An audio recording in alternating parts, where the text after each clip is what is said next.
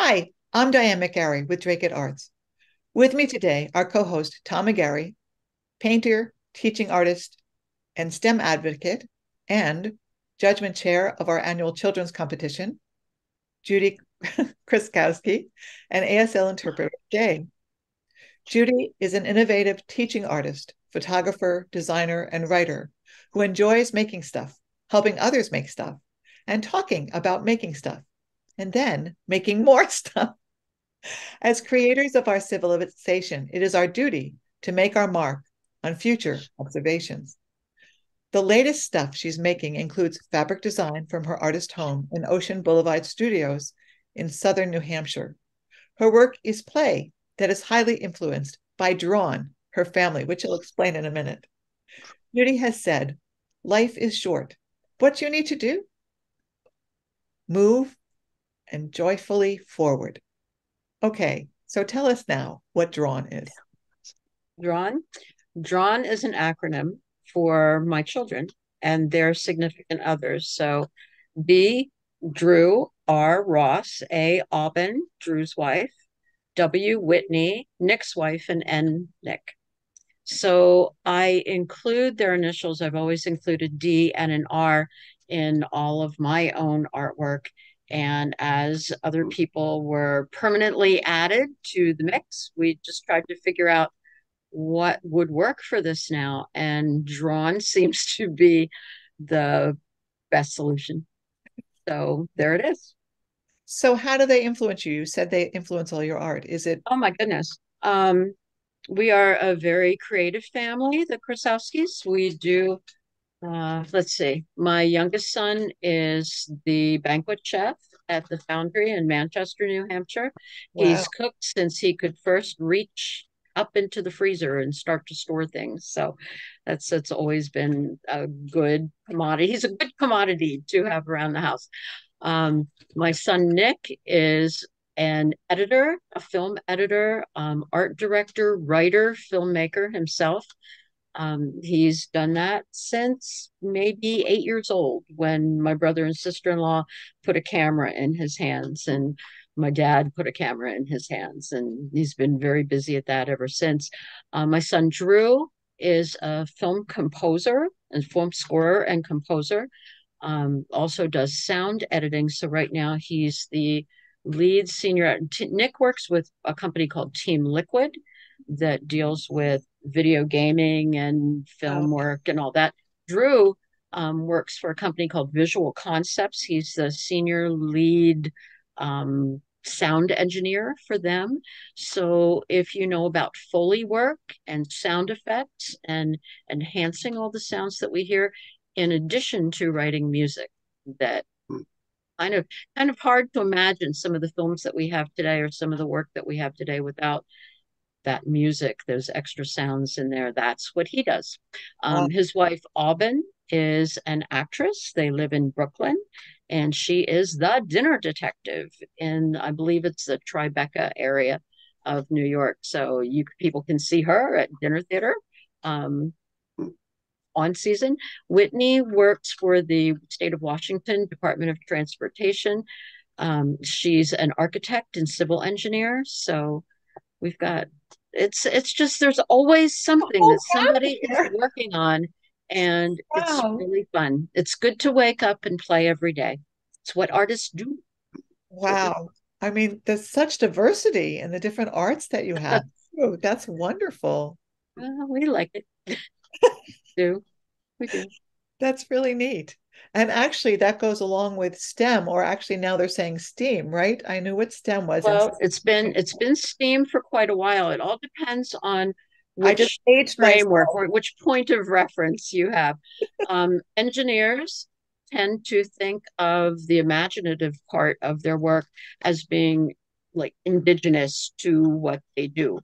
However, when people are brand new in the field, sometimes there's training of imagination there's that visual communication that has to happen and by putting art into stem science technology engineering and math right by putting art into that you ensure that that creative bend is going to continue. The innovative work, the brainstorming, the launchpad stuff, all of that kind of helps things along and you know it enhances the look enhances the design Sure. of what engineers make because they make all the stuff that we use every day Yeah. so Yeah. why not have it look good or have it be um, accessible you know all that neat stuff that happens so that's what steam does is puts a little extra oomph into what we use every day Right. And creativity we use in everything. We don't always think about it, but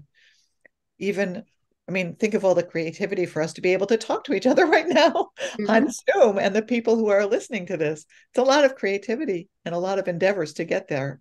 that's true that's very true Well, let's get back to you, Judy. Here's one of your beautiful paintings. Can you talk about this for us?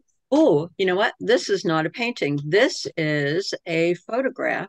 I'm One sorry. of the things that I do, I walk a lot out along our little New Hampshire seacoast.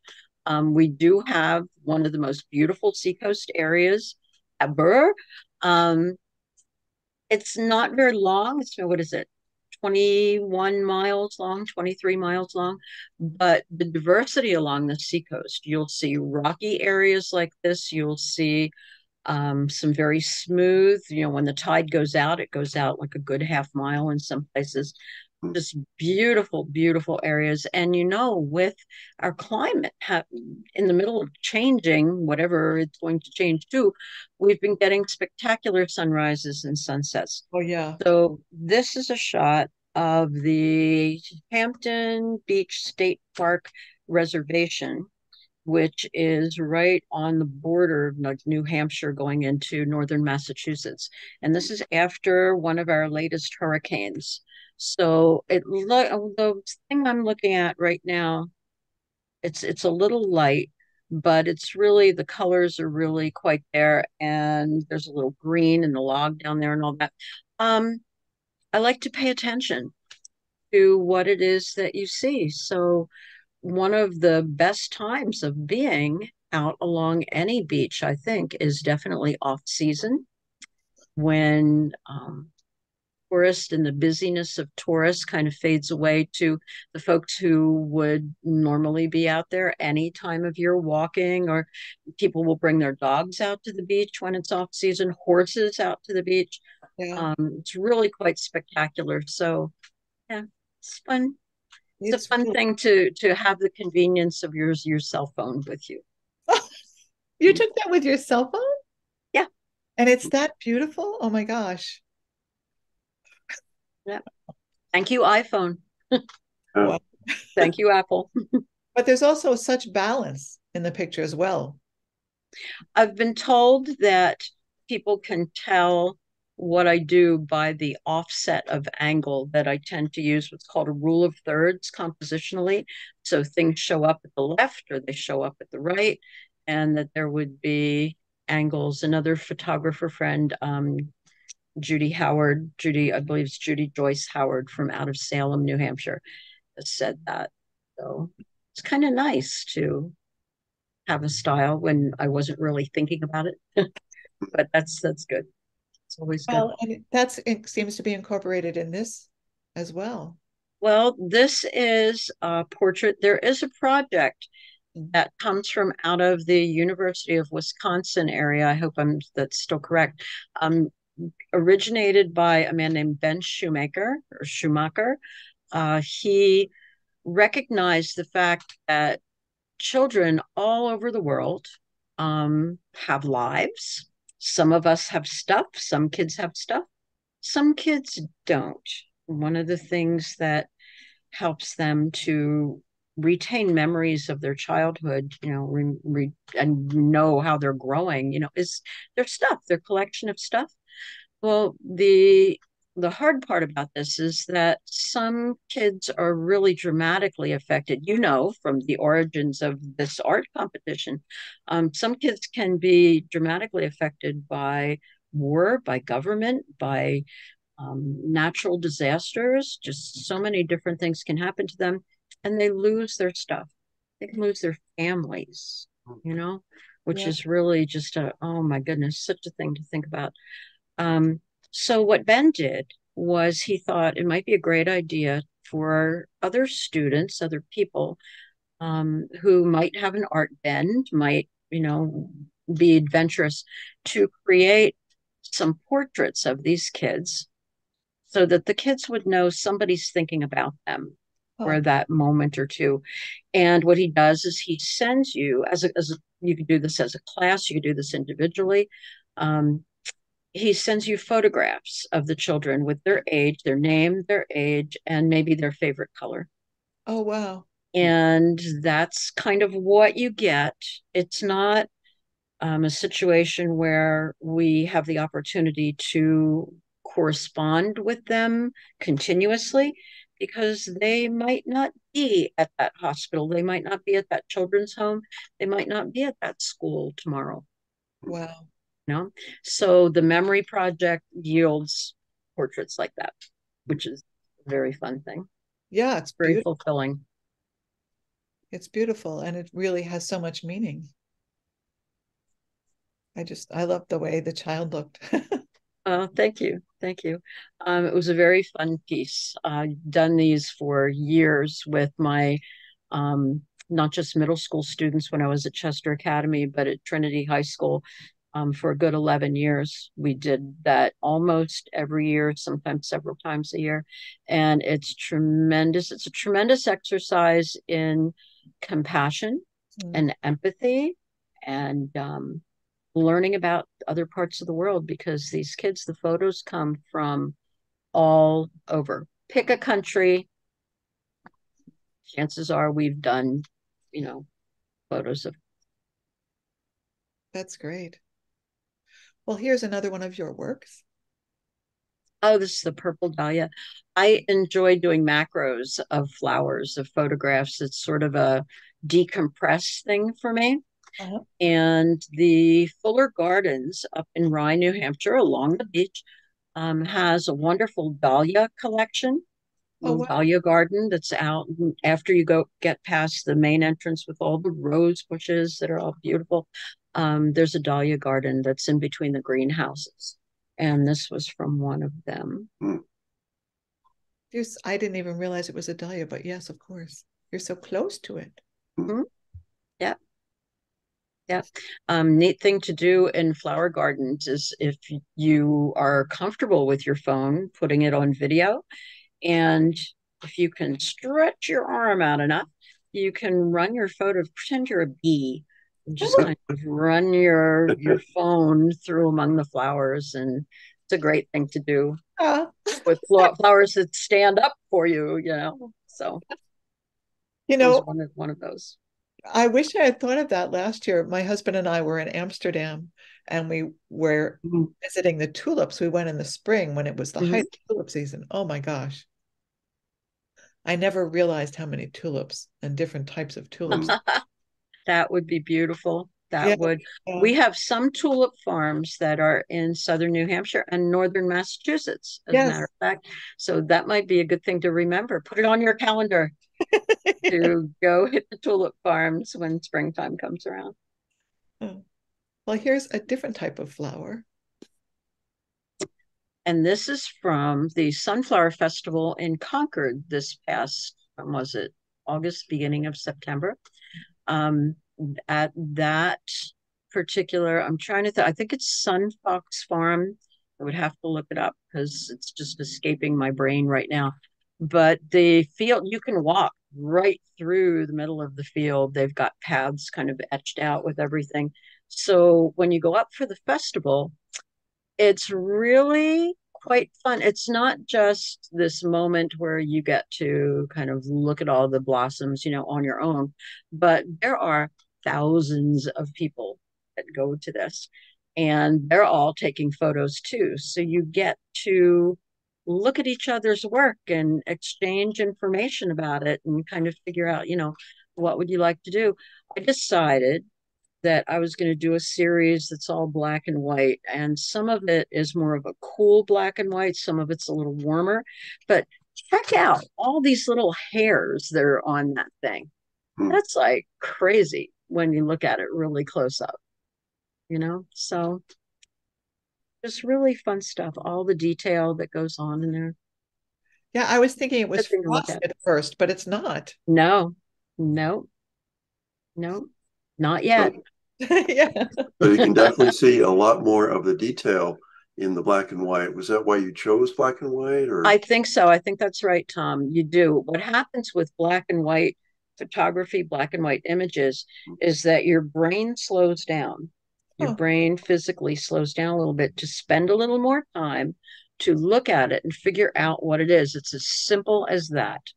Um, because we are so used to seeing in some degree of color that when presented with a black and white image, it's like, huh, huh, what is all that? And because of contrast, principles of design like contrast, um, proportion, depending upon where you move with your with your composition, where you move with your photograph, you can pick up some really cool stuff. Oh. Really neat things. Yeah. That's interesting. I hadn't realized that we don't take everything in. Um, yeah. Yeah. That makes sense. That right brain, left brain kind of thing that goes on. Which side kicks in? The analytical side, your left side kicks in to figure out what it is that you're seeing. Yeah. And here's mm-hmm. another black and white. Yeah. This is one of my personal favorites. I have the original of this in um, my kitchen, oh. but it's a photograph, and you just play with it and edit it and move around. It shows you what can happen with filters, where you can increase contrast and play around basically with grain to see oh. what you can do. I love seeing the bees in there. I'm yeah. sure loved being there as well. Yep. Yeah. So do you prefer working in black and white or is it just one of your many palettes? it was it was kind, very kind of you. Oh, um you have many. I I think I think I'm I have an eye for it sometimes. Just it just kind of depends on what it's it's a post production thing when you come and sit down and take a look at photos and look at just what might work as a black and white. Sure. What's the effect that you want? You know. Okay. It's good to see them side by side too. Yeah. What what happens with well here's one where you put in more color. Okay. This is a pastel. Sometimes they're referred to as paintings, soft pastel painting. Um, this is called the Birches and this is the signature piece for um, an exhibit entitled The Road Not Taken Artistic oh, Interpretations yeah. of the Poetry of Robert Frost. So this travels um, along with close to anywhere from 12 to 40 pieces of artwork um, completed by myself, um, originated by Corrine Dodge and Inga Seeboyer, who are from out of Derry, New Hampshire. And the point was to the challenge was to try and create some pieces or find some pieces in our own bodies of work that reflected themes um, presented by Robert Frost's poetry. So this is the one, the signature one that goes along with stopping by woods on a snowy evening. And then Inga has one that is her interpretation. Um, Corrine has one that is her interpretation. And the exhibit features different angles, different ways of looking at things. Um, it's very, it's fun. It's good to be, like I said, it, it's good to be busy. It's good to um, connect people with artwork. Sure. All kinds of stuff. Oh, this was so much fun. Um, when I, the first couple of years um, that I taught high school art, I really wanted to take the kids out. It seems, oh, sometimes you live in an area, but you never get to see what's actually there. And New England has the benefit of you can you can get there from here. You can get on the highway and you know put some kids in a bus, get on the highway and, and go somewhere. So we went to the Portland Museum of Art in Maine. Oh, nice. And this piece is there I apologize sincerely. I do not remember what the piece is called, but this young lady just found this so fascinating. And I found it extra fascinating because she just blended right in Yeah. to the area. So um, this is Nikki Pitt, and um, she's long since graduated from Trinity High School. But uh, yep, she was always up for posing in front of something or noticing that I've taken a picture of her in front of something and going, me, you know. So the whole idea of edges, of corners, of pieces at that point in a teenager's life um, could go along with their personalities. You know, they can be pretty prickly sometimes, but um, it was a fun piece to do. Let's see. This this is a study of an aloe vera plant that sometime I'll show you the the thing now. Um, when I first bought it several years ago, I was kind of following its growth, and it was maybe five inches tall. Mm. And in about oh, the space of maybe two and a half years, it's now about two feet tall and about two feet wide. And I just decided to start doing paintings of it. And this is one. Uh, I also liked how this little, if you look in the center, like I'm looking like you're, um, if you you look in the center, there's almost like a person, Yeah. sort of right. conducting things. Yeah. Yeah. So this is called Aloe. So I really like it. I like the different greens and the texture. I mean, I Thank love you. aloe vera, but you just you bring things to life, Judy. It's very nice. it's I it's play. It's very very fun.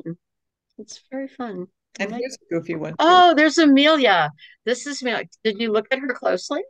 Yes. You see her aviator hat, her aviatrix yes, hat, with the goggles. and her little goggles, and she's pointing her little her little wingtip up to test for the wind. Oh, So this is from this particular spot is going around the curves, around the cliff curves of Rye and going up toward um Odiorne Point up that way. Yes. And um yeah, you can just pull your car right up to the edge of the rocks and look out over and that's it. So the gulls are brazen. New Hampshire gulls are very um bold. They're Yeah. bold. I mean, it's their land. What the heck are we doing here? Yeah, yeah, exactly, exactly. So she is the first of a series. Um, there are pieces that reflect on, you know, the appearance of a white feather. John Lennon had um, an affinity for white feathers, meaning there's an angel, there's something, you know, kind of coming along with that feather. And um, so in looking for those, sometimes you end up finding the gulls are following you, walking with you. They will literally be a foot away from you as you're walking along. So I thought, okay, fine, I'm just going to take your photograph. And um, yeah, so there's there's the, the photo of a gull that has little lighter bluish green sunglasses on and chasing after a feather. There's some other things that um, let's see. I love the rock and the water. I can do this.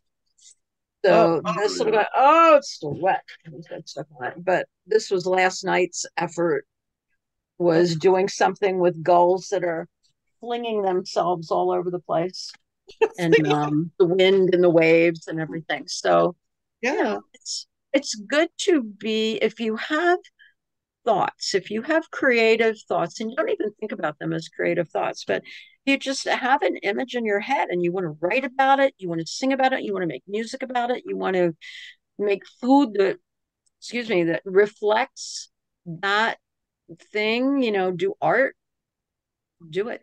Yeah. Not that much time, you know, really. And when you start counting years, depends on whether you're counting up or counting down, you know, you may as well do these things. Yeah, Well, why not? Why not? Yeah, this is the inside of a softball, oh, and it was done as an exercise to connect athletes with art. Oh, really? when, hmm? Hmm? That's when- interesting. yeah, when you um, find yourself in a position of being in charge of a classroom, you're not just disseminating information, but you are helping young people to grow into the young adults that they think they are. And sometimes you just have to meet them. You know, most times you have to meet them where they are. So if you have a classroom full of athletes, none of whom are interested, not even one iota, in what you have to say or do, um, you maybe change your subject matter a little bit. Maybe you introduce it through um, the equipment that they use, the environments in which they play. You know, some artist, some designer had to create their uniform. Somebody had to create that basketball somewhere, or that softball, or that baseball. So, um, kind of have at it that way and let them take things apart and see. Now, not all softballs look like that. Some are very gritty, like a baseball, you know, kind of gritty and stringy and different, you know, hard center and all that. But um, that one we think was a newer model and it had like little almost quilted things and Sure. Yeah, it definitely reminded me of quilting. I love this. Oh like i said people i'm influenced by my family um my son sent me flowers in my classroom for um, my pre-birthday. Um, my birthday always falls on a holiday that no one's ever in school. It's a winter thing, and um, they sent me some flowers. It was a Victorian floral bouquet, very vintage looking, and we just let them dry. Let them just kind of lay there and dry, and then use them as photographic subjects for my photography class, my digital art and digital photography class and this is one of my pieces of it. Someday it's going to grow up and be a full out painting. Mm. But is that what your photographs grow up to be? they grow up to be something else. Either either they're a, a, much better photograph or a piece of something. Yeah, it's people have written songs and poetry and novels about photographs. Why not just mm-hmm. have art? Yeah, you know yeah nothing a, profound about it just is well but that is profound right the simplest things are profound and we forget and take things for granted that well, are really just lucky just lucky to be able to continue to do this so oh i think we have one more of your beautiful works here Mm, that's also from the Sunflower Festival. And this one is called Debutante because she's a very young sun- sunflower, very young sunflower. Um, you know, seeds are just kind of growing. Look at that spiral in the center. That just absolutely amazes me. Mm. And the only little extra effect might be a little um, a little bit of darkening of edges. Huh. That's that's pretty much it. The um, color version is really quite nice too, but like I said, there was I decided to do a black and white series. Well, yeah, thanks for putting that one in there. Yeah. Oh, sure. I mean, there's so much there's so much depth and diversity in your work. I really love it. Mm. Thank you. Thank you. I appreciate that what's out there for people to just make them think a little bit or make them look a little bit more. You know, I've always told my kids, you know, you we did so many different things with them. It's like be aware of the world around you. Yeah. Be aware of that. Be aware of the fact that there are people in the Dracut area who are helping to have other people see better, to feel better, to hear better by the work that you all do. So I mean, Dracut Arts is it's a pretty important thing you're doing there, Diane. And Tom. Well, and Tom and all the other Gary and all the, the other, other people. Tom. It is, yeah. Well, thank you so much. It's always a pleasure to talk with you, Judy. Thank you. You too. You too. Please join us on January 24th for Judy's beautiful art gallery. We have many uh, we have um I want to thank our donors first, and then I'll go back to telling you everything about it. Um, there's a we cannot do these programs without all of our generous donors. We really want to thank them very much for doing that.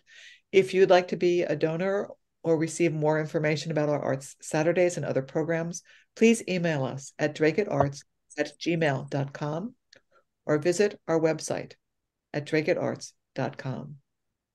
This and all our programs are archived on youtube.com slash at Dracut Arts. Thank you so much for being with us.